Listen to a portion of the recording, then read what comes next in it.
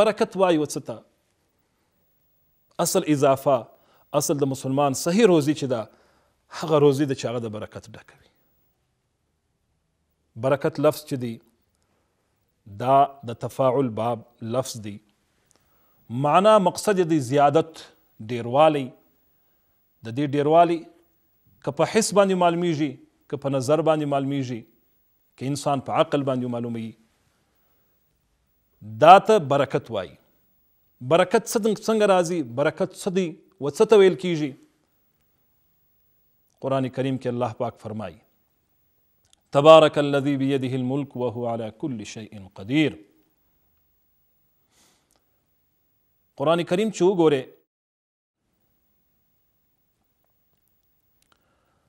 د برکت لفظ چې دی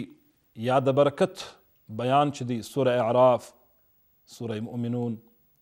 سوره فرقان سوره زخرف سوره الرحمن سوره الملک مختلف مقامات باندې الله پاک بیان کړی دی د برکت محترمو برکت وای و دې ته انس رضی الله تعالی عنه روایت کوي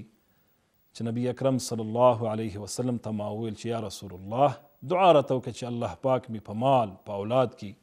برکات واچي نبی اکرم صلی الله علیه وسلم دعا راته وکړه چې یا الله د انس رضی الله تعالی کور بچان مال ژوند په دې کې برکت واچي انس رضی الله تعالی عنه فرمای چې زما په کور کې داسې برکات رالو هغه غربي هغه فقر هغه شمتیا هغه داسې ختم سوله چې زما په کور کې به سونی خشتې پرتې وي او داسې وو داسې اولادونه الله پاک راکړل